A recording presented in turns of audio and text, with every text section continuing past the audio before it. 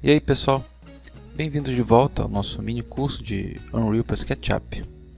E nessa videoaula nós vamos é, tratar aqui a poltrona e o sofá.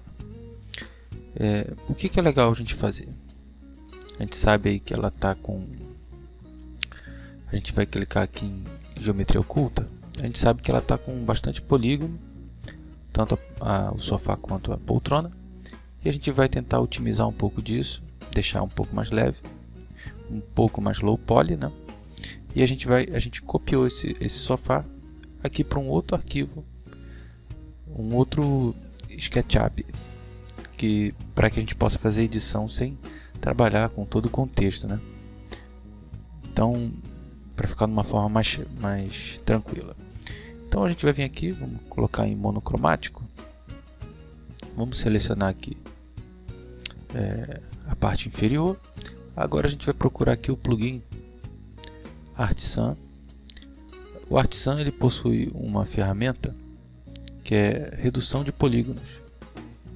E a gente vai aplicar aqui uma redução de 50%.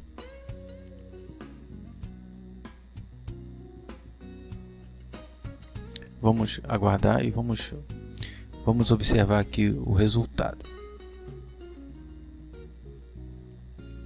Dependendo do objeto, tá? É, ou da malha, né? É, esse processo aqui de redução ele demora, tá? Ele demora bastante, né? Se você tiver, por exemplo, fazendo uma redução de 10%, 20%, aí vai ser mais rápido, ok? Então observe aqui que a gente fez uma redução de 50%. Olha aqui como é que já ficou. E se você quiser fazer de novo, você ainda pode fazer novamente, tá? Você pode fazer mais uma vez aqui essa redução. Eu vou reduzir de novo 50% para você ver. Tenta observar aqui que essa triangulação, né? Essa, os polígonos eles vão ser é, vai se reduzir esse número de polígonos. Só tem que tomar cuidado com, com o detalhe da mesh, né? Porque essa mesh, como é um sofá, ela tem algumas ondulações e tem essas duas partes aqui que são as partes que que mostram para a gente como se fosse uma costura ou uma emenda do tecido. Então, dependendo da de, se você otimizar muito, pode ser que fique muito quebrado e fique visualmente ruim. Uma vez que você fazendo essa redução de polígonos, outra coisa que acontece, tá? E vai acontecer com você é que a mesh, ela muitas das vezes é, acontece aqui quebra de arestas, né? A aresta ela fica sobressalente, é como se fosse ela sobrepõe com com uma face ou com uma outra aresta e fica com aspecto ruim. Então isso precisa ser é, corrigido manualmente. Vamos aguardar mais alguns instantes.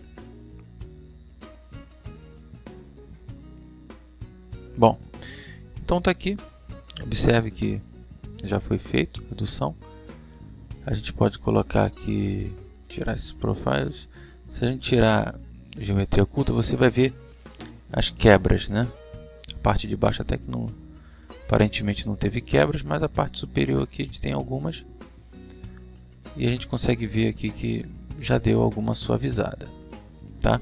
Você pode, se você não quiser suavizar o que já está bem suave, é, sutil, você pode vir aqui, selecionar, por exemplo, ah, eu quero reduzir esses polígonos só da frente. Você pode selecionar aqui, por exemplo, só essa parte aqui e aplicar uma redução, por exemplo, 30%. Ó, que bacana. Ok? Então agora a gente vai fazer o seguinte. A gente vai... A gente acabou quebrando aqui. Quebrando aqui. Tem uma quebra aqui também. E foras aqui, aqui de cima. Então vamos concentrar é, esta aula nessas correções. Então você vem, deleta a que está sobreposta e faz aí a correção.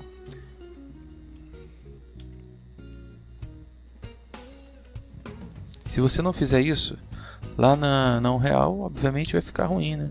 O cálculo de, de, de iluminação do, do objeto, ele vai apresentar aí um,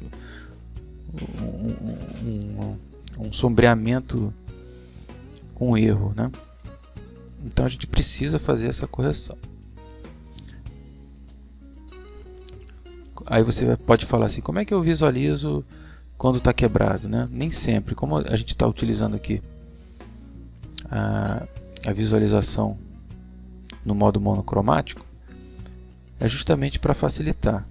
Quando a gente está com textura aqui assim fica difícil. Então você bota em monocromático e faz esse movimento com o seu modelo para que você visualize. Geralmente ele fica com um gradiente cinza, tá? Para facilitar a visualização. E assim a gente vai consertando as arestas que estão quebradas ou, ou sobrepostas para que o modelo fique perfeito, não real, tá? Eu vou dar uma pausa nesse vídeo para a gente ganhar uma velocidade e eu volto em seguida com o objeto já com, com essas correções. Bom galera, a gente já fez praticamente todo o tratamento desse pedaço do objeto e observe né, como é que ficou. Praticamente está tudo ok. Tem um, um pequeno erro aqui, um outro aqui a gente vai Vamos acertar aqui com vocês. Então você coloca em geometria oculta para que você possa visualizar e manipular esta que está com problema.